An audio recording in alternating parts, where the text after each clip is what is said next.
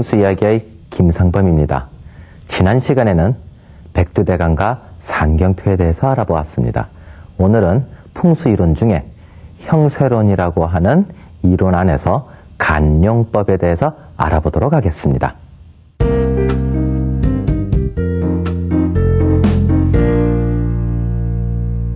형세론에는 간용법, 장풍법, 득수법, 정열법이 있다고 했습니다. 간용법이란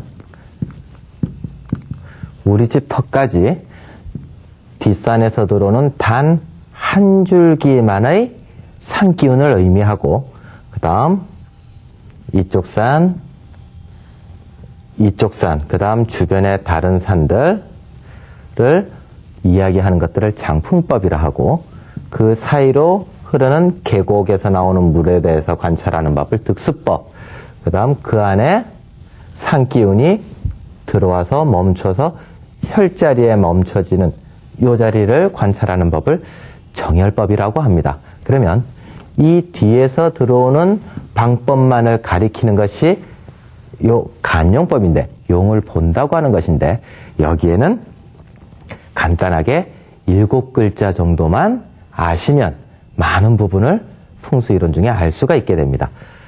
자, 한자로 쓰면 세, 형, 혈, 태, 식, 잉, 육이라고 하는 일곱 글자인데 끊어 읽기는 이렇게 끊어 읽어서 세형혈 태식잉육. 세형혈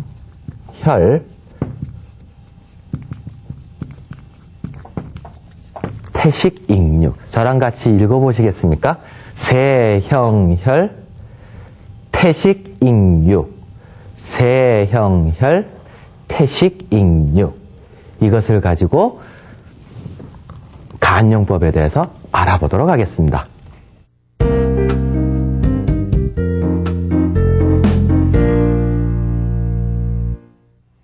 여기서 세라고 하는 것은 세산을 의미를 합니다. 세산. 한자 그대로 기세가 있는 산을 의미합니다. 세산이란 아주 큰 산, 뭐 지리산이라든가 태백산이라든가 덕유산, 속리산 같은 북한산, 금정산 같은 큰 산을 세산이라고 합니다. 그 다음 형은 형산을 의미합니다. 형산은 부드러운 산, 아담한 산, 단정한 산을 의미해서 이런 산이 된다거나 안 그러면은 이런 산이 된다거나 해서 부드럽고 단정하고 그리고 크기는 좀 작은 산을 의미합니다. 그 다음 혈이라고 했습니다. 혈이 바로 우리가 곧 자리를 하게 되는 명당 터인 것입니다. 그러면 이것이 세산, 형산, 혈이 서로 연결이 쭉 되어서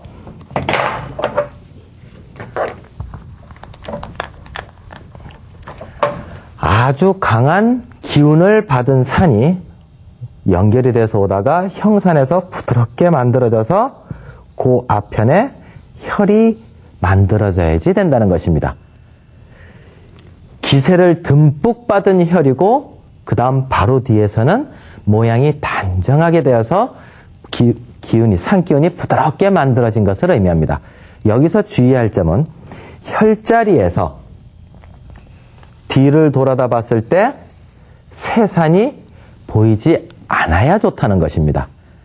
만약에 새산이 보이게 되면 비록 멀리 있는 산이라 하더라도 산 기운이 뭐 바위도 튀어 있을 것이고 그 다음 또 돌도 너무 큰 것들이 많아서 이것이 혈자리까지 그대로 들어오면 조금 강한 산 기운이 들어온다 해서 나쁘다 해서 뒤에 형산에 의해서 뒤에 큰 새산이 보여서는 안 되는 것입니다. 자, 그러면 새산은 어떠한 산을 그러면 말하는 것인가? 사진을 보면서 알아보도록 하겠습니다. 전라남도 영암에 있는 월출산입니다. 우리가 이렇게 봐도 바위들이 기암 괴석들이 많이 튀어 있으면서 강한 파워를 가지고 있게 되는 산입니다. 기세가 아주 센 산입니다. 다음 사진을 보겠습니다. 경상북도와 경상남도 경계선에 있는 해인사가 위치한 가야산의 상황봉입니다. 이 상황봉도 바위들이 많이 튀어 있고 아주 등치가 큰 산으로서 세산에 속하게 됩니다. 다음 사진을 보겠습니다.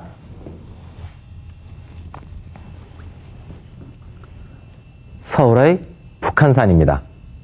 이 북한산도 서울의 한양에 산의 기운을 불어넣어주는 큰 산으로서 높이는 다른 산에 비해서 1000m도 안 되지만 아주 강한 파워를 가지고 있는 산입니다. 이 정도의 큰 파워를 갖고 있기에 한양도읍도 자리를 하게 되었던 것입니다. 그 다음 뒷사진은 그럼 세산입니까 형산입니까를 한번 보도록 하겠습니다.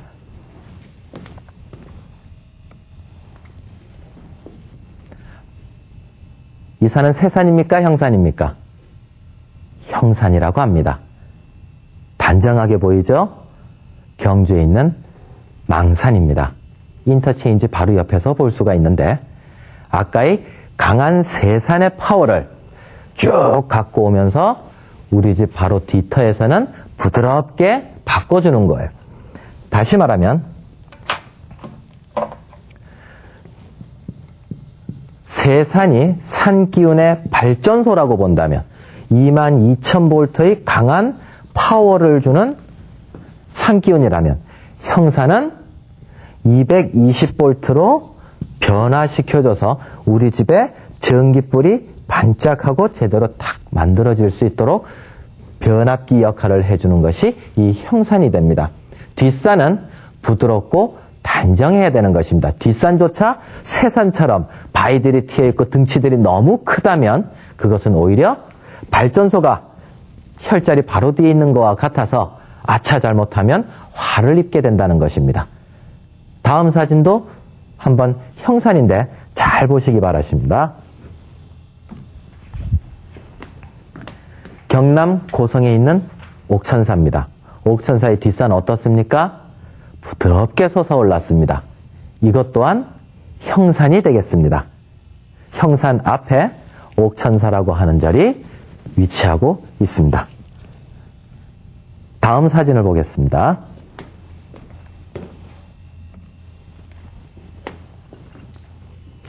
여기는 경남 산천군에 있는 서계서원입니다. 서계서원의 뒷산 역시 부드럽게 솟아오른 산으로서 양옆에 산줄기를 끼고 그 가운데에 서계서원이 입지하게 된 것입니다. 뒷산이 이렇게 단정해야 좋은 것입니다. 다음 사진을 보겠습니다.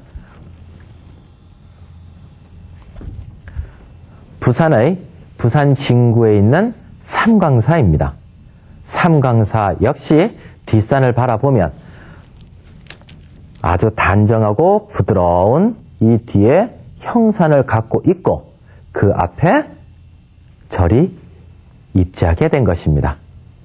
자, 그러면 이것을 한꺼번에 세형혈이라고 하는 구조로서 같이 풀어보겠습니다.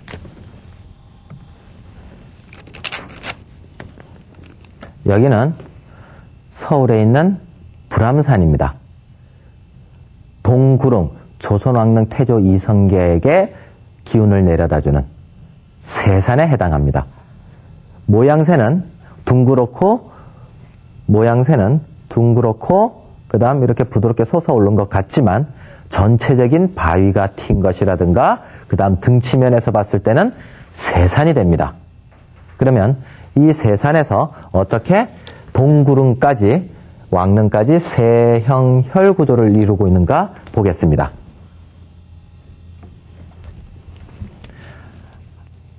아까 그 불암산이 이 뒷산입니다. 꼭 여기를 몸통으로 보고 양쪽에 날개를 펼친 것과 같이 독수리처럼 이렇게 날개를 펼치고 있는 듯한 저 멋진 산이 불암산입니다. 그 다음 앞에 이 산들이 거맘산입니다. 동구릉을 이루어주는 형산에 속합니다. 그 다음 요 부분이 조선 왕릉입니다. 그래서 세, 형, 혈의 구조를 갖고 조선 왕릉이 택지하게 되었던 것입니다. 또 다른 사진을 보겠습니다. 여기는 대구에 있는 팔공산 동화사입니다. 뒤에 팔공산이라고 하는 커다란 산을 세산으로 삼고 이 뒤에 바위 튄 것들이 보이십니까? 이 바위 튄 것들이 팔공산 세산에 해당하고 그 다음 뒤에 나무 숲들로 나지막한 뒷산이 형산 그 다음 동화사가 자리를 하게 된 것입니다. 역시 세형혈 구조를 가지고 있습니다. 또 보겠습니다. 이 사진은 경남 양산에 있는 통도사 뒤에 극나감이라고 하는 암자입니다. 여기서도 마찬가지로 영치산의 뒤에 커다란 기운찬 바위들이 솟아있는 이 산을 세산으로 보고 그 다음 바로 뒤에 형산으로 보고 그 다음 요 뒤편에 관음전이 혈자리에 위치하게 되는 것입니다. 그래서 세, 형, 혈 구조를 갖고 있습니다. 그런데 여기 통도사는 통도사의 극나감은 뒤에 형산이 조금 낮은 관계로 세산이 안 보여야 좋은데 조금 보이는 그런 단점이 있어서 대나무를 심고 소나무를 심어서 세산이 좀 더 안 보이게끔 풍수비보를 하였던 암자가 되겠습니다. 그러면 여기서 우리가 하나 알 수 있는 것이 있습니다. 주변에 큰 바위산이라든가 안 그럼 돌들이 흘러내리는 산, 산이라든가 너무 기가 센 산들이 주변에 있다면 그걸 어떻게 하면 된다? 통도사 극나감처럼 주변에 나무를 심어서 그 기운이 우리 집 턱까지 들어오지 않도록 이렇게 보이지 않도록 하면 된다는 것입니다. 우리 조상들은 나무를 가지고 그것이 우리 집 안까지 들어오지 않도록 다시 말해서 우리 집에서 보이지 않도록 불견 처리하는 방법을 나무로서 많이 사용을 했습니다. 자, 그러면 세 형혈 구조를 갖게 되는데 이거를 세로 해서 보면 세 산이 있고 그 다음 쭉 연결이 되어서 형산이 있어야 됩니다. 여기서 세산은 무척 큰 산을 말하고 형산은 뒤에 부드러운 손을 말한다 했습니다. 조건이 이 산과 이 산은 간용법에 의해서 물에 의해서 한 번도 끊어져선 안 된다는 겁니다. 한 번도 끊어지지 않아야 된다. 만약에 끊어졌다면 이 산은 우리에게 기운을 주는 산이 아니라는 겁니다. 물 건너 간 산이 되는 거예요. 여기 혈자리가 있습니다. 그 다음 여기서 이렇게 혈자리가 형산 뒤에서 들어오게 되는데 이쪽에 여러 산들이 있습니다. 여러 산들이 있는데 이 산들은 어떤 산들입니까? 계곡에 의해서 그야말로 우리 집터에서는 물 건너 간 산들입니다. 다시 말해서 우리는 이 산 기운을 받고 있는 것이지 이 산 기운은 직접적으로 받고 있지 않다는 것입니다. 단지 눈에 보이는 대로 보이는 만큼만 영향을 우리 터에게 주고 있는 것입니다. 진짜 큰 기운은 어디서 온다? 한 번도 개천에 의해서 물에 의해서 끊어지지 않는 길로 와서 연결을 주고 있는 것이 이 산을 우리가 제대로 보고 있는 겁니다. 그러면 이 산의 기운이 어떠냐 하는 것인데 기운이 살아있는 게 있고 죽어있는 게 있습니다. 산을 용이라 한다 그랬습니다. 용 중에서도 생룡이라는 것이 있고 사룡이라고 하는 것이 있습니다. 용이 힘차게 뻗어 내려오면서 우리 집에게 강력한 파워를 준다면 그만큼 우리 땅은 좋은 땅, 좋은 생기를 생기를 얻을 수 있는 땅이 되지만 뒤에서 내려오는 용의 힘이 힘이 없고 축 늘어지고 그렇다면 사룡으로서 분류되어서 우리 집은 오히려 흉당에 속하게 되는 것입니다. 그러면 옛날 고전 책에 보면 어떤 것 쪽이 그러면 정말 쓸만한 용이고 어떤 것들이 그러면 쓰지 못할 용인가 하는 것들도 용세 12격이라 해서 12가지로 나눠 놓은 것이 있는데 그것을 대충 보면 자, 좋은 것 생용 그다음 나쁜 것 사용 그다음 순하게 용이 잘 내려온다? 거꾸로 용이 내려온다. 영영. 그 다음 강력하게 잘 내려오고 있다? 병들게 내려온다? 병령 그 다음 진용 아주 나아갈 만큼 잘 내려온다. 진용 그 다음 태령. 그 다음 이쪽에 복령 그 다음 여기는 살령 그 다음 검령 이런 식으로 용세 12격이라고 해서 이렇게 산 기운이 내려오는 것들은 정말 쓸만하고 털을 잡을 만하다 했으며 이렇게 나쁘게 내려오는 것들은 명당이 아니고 흉당에 가까움으로 오히려 쓰면 나쁘다 했는데 여기서 이것들을 하나하나 다 분류할 필요는 없습니다.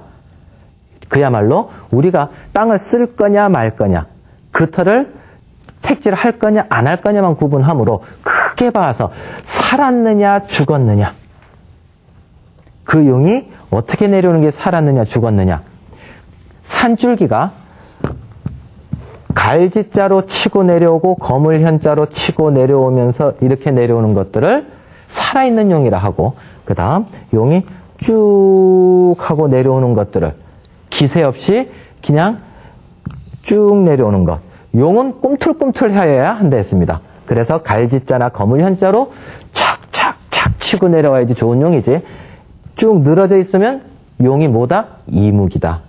그래서 이런 용들은 못 쓰고 이런 용들이 여기에 속하게 되고 아주 생동감 있게 내려오는 그리고 힘차게 내려오고 부드럽게 내려오는 것들이 여기에 속함으로 이렇게 생긴 용들 속에서 명당을 찾아야 되는 것입니다. 세, 형, 혈 구조를 반드시 아셔야 우리 문화재도 참 잘 풀리더라 하는 겁니다.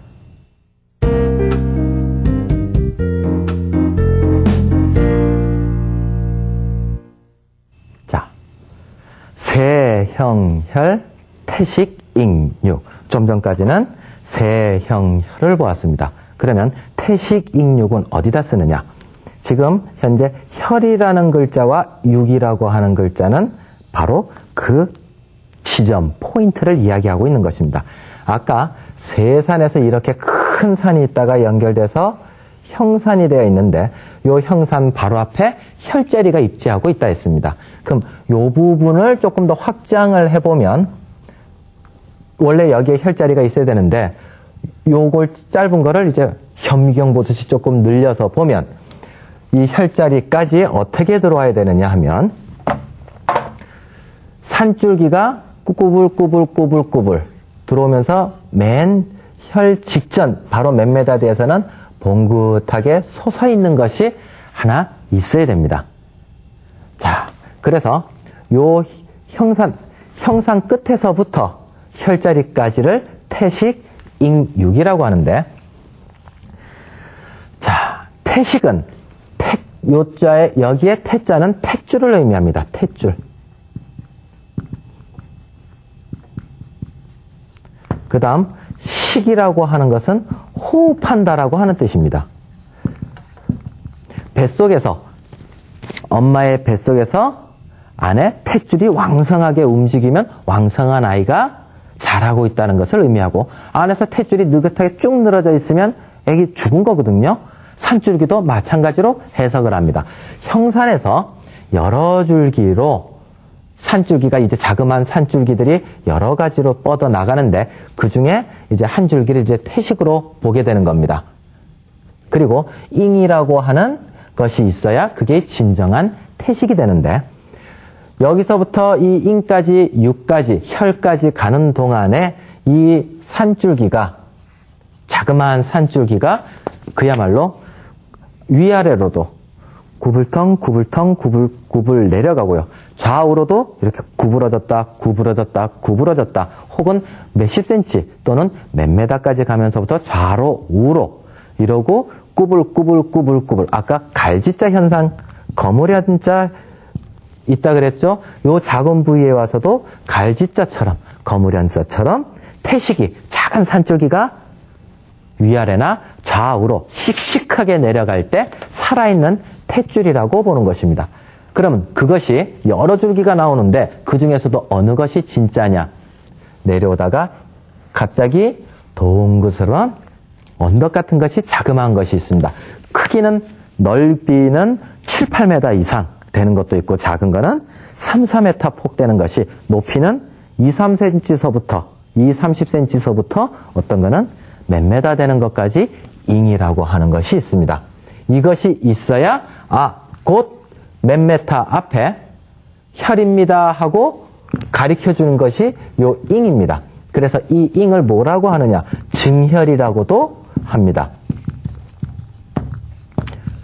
곧 맨머타 앞에 혈이 있습니다. 증명해 준다 해서 요걸 잉이라고 하는 것입니다. 요 과정 세형혈 그다음 태식 오다가 잉으로 볼록 한 다음에 맨몇 앞에 왕릉들이 또는 전통 가옥들이 다들 자리하고 있다는 것입니다. 자, 그러면 다음 사진을 보겠습니다. 지금 이 사진은 동구릉에 있는 왕릉 중에 하나의 뒷태식을 찍은 것입니다. 근데 제가 사진을 찍어 봤는데 태식을 찍을 때마다 제가 말씀드리는 것만큼 참 태식을 제대로 이렇게 설명, 사진으로 갖고도 설명해 주기가 힘든 부분들이 많았습니다. 제일 좋은 거는 정말 동구릉 뒤에 가서, 왕릉 뒤에 가서 같이 밟아보고 또 밟아보고 그거를 수십 차례 이러고 쭉 하다 보면 아, 이런 것이 태식이구나. 이런 것이 위아래로 쭉 걸어 다녀보고 또 뒤로 와서 또 걸어보고 그러면서 태식이라는 감을 익히는 것이 제일 좋습니다. 사진으로는 나무 속에 가려가지고 아 이게 태식이구나 하는 것들이 잘 나타나질 않습니다. 좀 아쉬운 부분입니다. 다음 사진을 보겠습니다.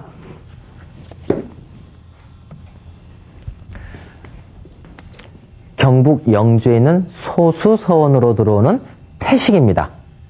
소수서원은 영구 하산형인데 뭐 신령스러운 거비가 산에서 내려온다는 형국인데 거북이 에서부터 소수 서원의 사당까지 들어오는 겁니다.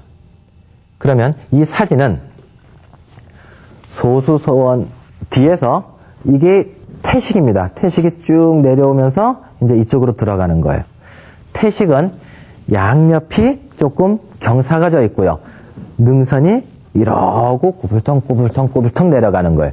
여기서도 한번 보십시오. 양옆으로는 경사가 이렇게 져져 있고요. 가운데 폭이 한 몇 메다 정도 이러고 꾸불텅 꾸불텅 꾸불텅 꾸불텅 꾸불텅 이러고 내려오면서 이제 소수소원의 사당으로 들어가는 것입니다. 다음 사진을 보겠습니다. 경기도 여주군에 있는 효정왕릉비입니다. 여기서 태식이라는 것이 뭐냐? 뒤에서부터, 전 뒤에서 찍은 건데, 뒤에서 태식이 이러고 꾸불꾸불꾸불 가서 요 부분이 지금 볼록하게 보이는 요 부분이 잉이 됩니다. 그럼 잉 바로 몇몇 앞에 능이 올라간 겁니다. 요 잉을 잘 보십시오. 요 부분이 잉이 됩니다. 또 다음 사진을 보겠습니다.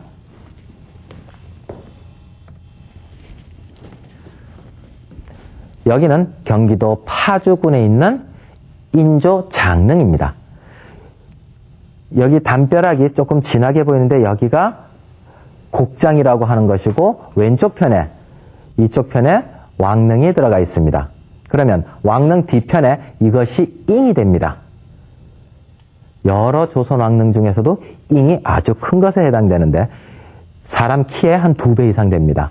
그 잉이 이제 육쪽으로 혈자리 쪽으로 담벼락을 넘어서 들어오는 걸 보겠습니다. 자, 담벼락으로 통해서 들어오면서 곡장은 어떻게 담은 어떻게 되어 있습니까? 이 상기운을 훼손시키지 않으려고 그대로 담벼락이 위로 솟아올랐다가 저쪽으로 또 솟- 내려가게 됩니다. 그래서 잉에서부터 혈자리까지 들어오는 겁니다. 그 다음 곡장 안에서 찍은 걸 보겠습니다. 다음 이제 뒤에 잉에서부터 곡장을 통해서 이러고 들어오는 거예요.